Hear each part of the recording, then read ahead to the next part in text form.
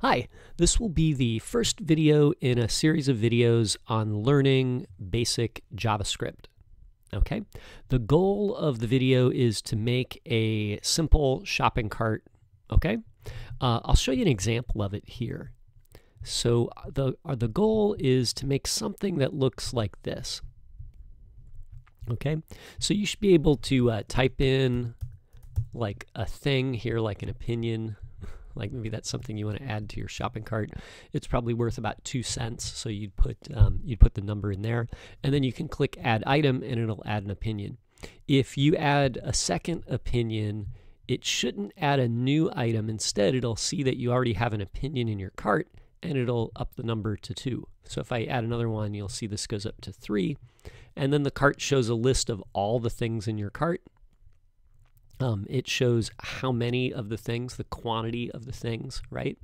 And then it shows the total uh, price for the thing. So actually, it shows the price over here, and then it gives you the total price over here. So if I get six oranges and they're $1.29 each, then I, that costs seven seventy four, right? At the bottom, it shows the uh, total cost of everything in my cart. And then I have some UI elements over here, you know, where I can, you know, remove an apple from my cart um, I can add a couple oranges to the cart. I can remove one frisbee. Actually, I don't even need four frisbees. You really only need one, right? Um, and then, you know, if you want, you can set the number of opinions. And I'm full of opinions, so I'll, I'll make it, um, you know, like a million opinions or 10,000 or whatever that is, right? Okay, so uh, so anyway, that's that's the goal. We're going to make one of these. It's all going to run with JavaScript. Um, we're going to talk about um, functions, variables, uh, returning a value from a function. We'll talk about um, using arrays and objects. And we'll also talk about how JavaScript works with the DOM. So, as the program behind the scenes is running, it's also updating elements on the screen, right? So, it's creating new items. So, if I say a new item here and it's worth uh, 99 cents. When I add it here, you can see it gets added to the list and the, the screen updates, right? And we will talk about event listeners. So when we click on these buttons or update the value in a field, like maybe I have like five of these, right? When I update the value here, it should update over here, right? And so we have an event listener that listens for that and then runs some code. Okay. So this is our goal. We'll go through this in a couple videos. Um, you know, and you can follow along, and there'll be some some challenges for you along the way. So, uh, and and this project too could be turned into a lot of things. It's kind of like a shopping cart you might see on a store or some website. It could be the shopping cart in a game, like if you have a game with some kind of economy. Um, this could easily be turned into a to do list or um, any kind of list app. Okay. But anyway, the whole thing runs in JavaScript, and this is just essentially just a, a web page. Okay, so uh, let's get started. So I'm going to go to my desktop here and uh, make a new folder called uh, Shopping Cart. Okay, and I'll drag this folder on top of Visual Studio Code, and then it'll open that folder up as a project in Visual Studio. Okay. And what I'll see here is, um, you know, the welcome thing from Visual Studio, and I'll see the the file explorer here on the um, on the left side, and it'll be empty, right? So the first thing I'm going to do is I'm going to make a brand new HTML file. So I'll call it index.html, and in here I'll set up the basic HTML tags and things. So I'll do the head tag, I'll do the title tag. I'll add the body tag here. Okay. To make this project simple, I think I'm going to put um, all of the code inside this one file here. So everything will be in this one file. Later, maybe we'll break it off into separate files, but just as a beginner um, thing and just to get started, we'll put it all in one file. Okay. So at the top here, I'll add a style tag. And if I add any CSS styles, they'll go in here. And at the bottom of the body tag, I'll give myself a little space there. I'll add a script tag. Okay, so when we first start the project, what we're going to do is we're just going to write some code in here and we won't actually have anything in the body and we'll just check our, our code through the console in the browser.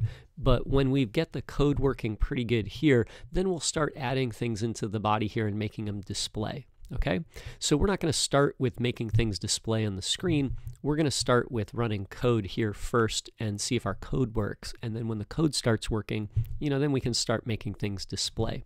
Okay, so that's a pretty good start. Um, let me um, save all this and um, and uh, get our code started, right? So uh, let's talk about variables and functions. So this is like the very basic uh, level of code. These are the two like primary things that you're going to use when you're building your programs. Okay, so variables are names that you can assign a value to, and they can store a value. They're variable, or they're called variables because they can change their value over time. Um, so you can, you know, assign new values to them or update their values, right? Variables are super useful and you can put any kind of value in them in JavaScript. So they can hold a number, they can hold a string, they can hold uh, a reference to an array or an object. They can even hold a function. So you can assign a function to a variable in JavaScript. Okay? So, what kind of variables do we need, right? Well, our shopping cart, if we remember here, it had a, a list of items, right? So there's a list here. I got orange, frisbee, opinion, and new item, right? So we need to store that. That often is called a collection, and a collection, there's a couple different types that hold a collection, right?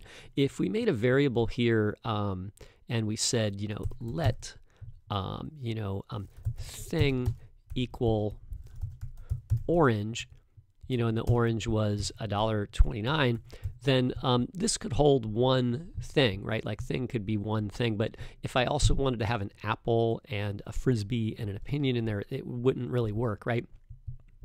So this is not a collection, right? This is just a, a one value, okay? Um, a collection is a type of variable that can hold a, a, list of things or a, or a you know a collection of things. It's like a bag or a box or a shelf, right? Rather than just one cubbyhole, right? Um, so in JavaScript, we have a couple collections. We have the array and we have the object. Okay, so an array holds a collection of things. Okay, a collection of values, and it stores them at an each at an index. So we reference each item with a number like one, two, three, four, right? Actually, zero is the first item, okay? Um, whenever we define a variable in JavaScript, we're going to use one of three keywords. We're going to use cont or const, uh, var, or let, okay? I'm going to use the keyword const, and then I'm going to call this one um, cart and this will be my variable. And I'll use the two square brackets to define the variable, okay? Or the, the array, right?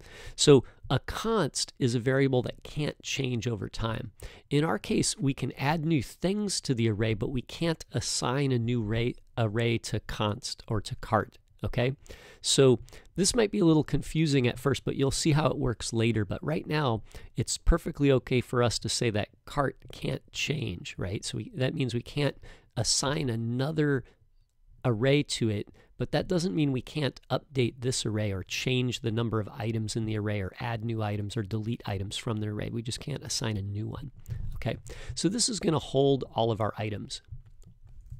So next, what we're going to do is we're going to write a couple functions, right? So I need a function, and we always write a function like this. We're going to say function name and then um, the curly brackets, right? And we actually follow the name with the parentheses, okay? So we give our functions a name, and hopefully the names are descriptive and describe like what that function does. So I'm going to say add item. So whenever you add an item to a, to the cart, um, you'll call the add item function. Okay, I'm going to make another function here called show items. And I'll follow the same rule. I'll follow it with the name with the parentheses and then with the curly brackets, okay? Um, JavaScript is case sensitive, So you can see that I've named this one with an uppercase I, right, and the same down here, but I started with the lowercase letter. So anytime I type these names, I'll have to type them in the same case, okay? You're not allowed to use special characters, so this is not a valid function name or variable name in JavaScript, okay? Um, underscore is okay. You can also use the dollar sign but you can't use uh, the dot, you can't use the dash, you can't use the equal sign or the star or you know a bunch of the other characters, right? So pretty much we should stick with letters for our, our names, right? So I've got a, a, function now to add an item. I've got a function to show the items, okay? So uh, let's, let's add some items to the cart. Okay, so you can see here in my shopping cart, every item is made up of a name and a price, right? Every item also has a quantity, right, that tells me how many of this item are in the cart. The rest of this can be calculated from the price and the quantity. So if I take the quantity and multiply by the price, I'm going to get the total over here. And then if I add up all the totals, I can get the total at the bottom. Okay, so I don't I don't really need those as separate values because I can calculate them, okay? So how do we add an item to the cart? Well, if you added an item to the cart, you'd probably need to tell us what the name is and what the price is, okay? We might also include the quantity, so you could add like five items to the cart or one item or three items. But for right now, why don't we just say if you add an item to the cart, it adds one, okay? And then we can just assume that, that the quantity will be one when we run this operation. When you put values here inside the parentheses, they're called parameters. Parameters are variables that are defined when the function is run. Okay? So when you call on the function, you'll be giving the value to these variables. Okay? So at the bottom here, I'm going to call on this function. It won't do anything yet because we haven't included any code within the, the code block here, right? But uh, if you wanted to say add item, you actually I think if I if I do it this way, oh yeah, VS Code will help me out. It'll see add item takes a name which can be any type and a price which can be any type. So let's say I wanted to add an apple to my cart and the price of an apple is 99 cents. And then maybe I want to do it again. I want to say, but this time I'll add an orange and the price of an orange is a dollar 29 okay and we could add some other things but just this will run our code for for testing right? So if I've got this so far I'm when I um, put the name of a function and then put the parentheses at the end of it it invokes the function or it calls on the function. It runs the code that you've defined here within the um, the curly braces okay? So here I've invoked the add item function twice, right? So I've defined the function up here and it didn't do anything until I invoked it down here. So here I ran it once and then here I ran it a second time. Okay, so now we just need to decide like what happens inside here. Okay, so an array can hold multiple items and we'll, we'll see how that works in a moment. Um, what I'd like to do is I'd like to add an item to the cart that includes the name, the price, and a quantity. Okay, so what I'll do is I'll say um, cart dot push, and push is a method of array. So anytime something is an array, we can call push on it, and that adds a new item or it pushes an item into the cart or into the array, right, at the end of the array. Okay, so what do I want to put in there, right? Well, I could put the name in there, right? And then let's say I want to show the items, right? So what I'll do over here is I'll say, let's print them to the to the console. Now the console is like a, a debugging tool. So you don't see it here, but if you um, go to your browser and you choose inspect, if you're in Safari, you won't see inspect unless you go to preferences and then go to advanced and then check this box right here that says show develop menu in menu bar and then you should see this menu bar now, right? Our menu item. And if you right click on the page, you'll see inspect element and in here, and it may arrange this. Sometimes it puts the, the inspector on the side or the bottom or in a new window. You can kind of control that with these buttons, right? If you go in here and you go to console, then you'll see down here my my code is is printing some things out to the console like it said frisbee and orange and apple right and what we're going to do is we're going to print out the value of our cart in show items and we'll print it to the console here. So our program will just be blank in the browser for now, but everything that happens will appear in the console. So what I'm going to do is I'm going to go to console and say print or just console.log cart. Okay. And uh, now I'll open up my program index.html in my browser here, right? So what I'm going to do is I'm going to go find my file. I've put it on the desktop in this folder right here, and maybe I'll um, I'll just drag it. Actually, I think I can drag it to the bar here. Actually, you know what I should have done is let me do it this way. I'll uh, I think if I drag it to the plus sign here, it'll make a new tab. So that way I have both tabs, right? So now I'm to remember we're not going to see anything here, but if I go to the the inspector I'll see in the console that it says, uh, it doesn't say anything. Wait a minute. Oh, you know why? Of course it doesn't say anything. I added the items to the cart, but I never called show items. So let's call that, right? So I'll say, um, you know, show items, and then I'll run my code here by refreshing the browser, and you can see that the, the square brackets here, it says apple, comma, orange, right? So this is what my array looks like. And if I added a new element to the array here, an opinion, and it was uh, worth uh, two cents, right? When I refresh here, you'll see that I've got an opinion in there. Now, currently the array shows one element for each item in the array and it's a string and a string is always in quotation marks and has you know any number of characters between the quotation marks and this shows the apple the orange and the opinion.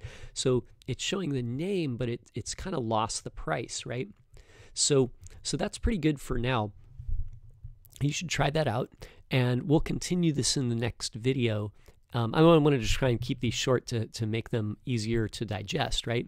But what we'll do in the next video is we'll we'll set this up so it can, can so our our array can keep track of the name, the price, and the quantity all together, and then we'll talk about how we can log all three of the items to the console together. Okay, so thanks for watching.